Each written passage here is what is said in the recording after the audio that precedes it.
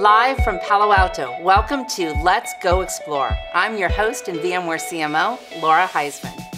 VMware Explore, our flagship customer event, is right around the corner.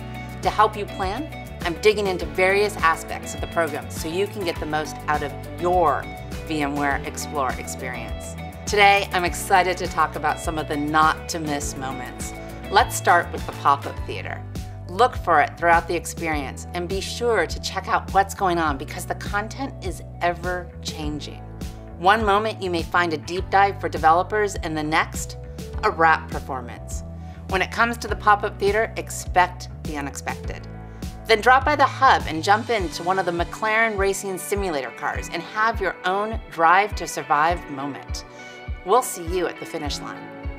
VMware Explore is going to be energizing with tons of things to see, learn about, and enjoy. So if you just need to chill for a bit, drop into our meditation lounge. Yes, a meditation lounge.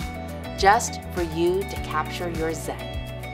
Of course, you'll also find what you've come to love and expect from VMware. Joining me to talk about this is VMware CTO and a fan favorite, Kit Colbert. Hey Laura, that meditation zone sounds amazing. Sign me up. Now, like you said, VMware Explore has everything that attendees have come to expect from us. An expansive content catalog with hundreds of sessions, from the strategic to the deeply technical.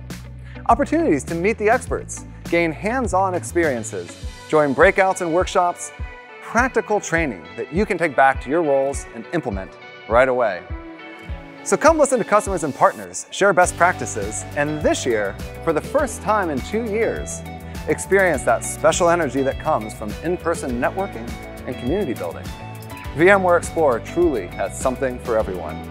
So I hope you're registered, and I'll see you at the center of the multi-cloud universe. I'll see you all there.